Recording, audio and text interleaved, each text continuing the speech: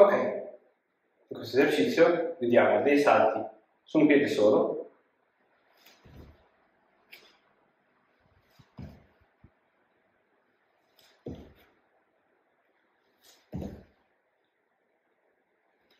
oppure una progressione con dei salti avanti. O dei salti indietro.